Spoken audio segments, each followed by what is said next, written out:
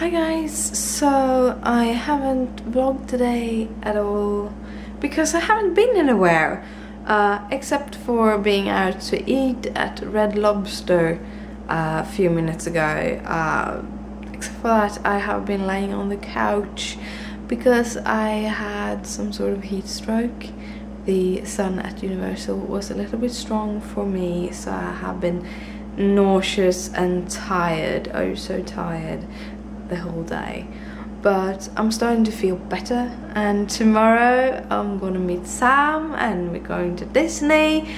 It's gonna be amazing and then we have playlist live.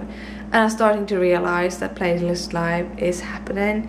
I had some opportunity to watch YouTube today. I haven't watched YouTube in a very long while since I came to Florida because the internet hasn't been good or they actually have like prohibited YouTube watching uh, in the hotels. But today I, I was able to see some YouTube and I got to see all the pre-playlist YouTubes from everyone and I'm starting to get scared, so freaking scared.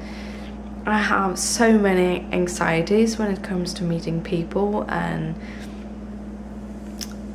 I don't know, it's I'm so looking forward to it, to do Playlist Live, and at the same time, I'm so freaking scared. But it will work out fine because it will be a good thing.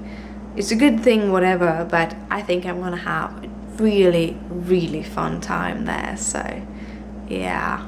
But I'm saying goodnight for tonight. It's a very short vlog, but that's how it is when you just lie on the sofa and watch telly all day. Night night guys. Bye.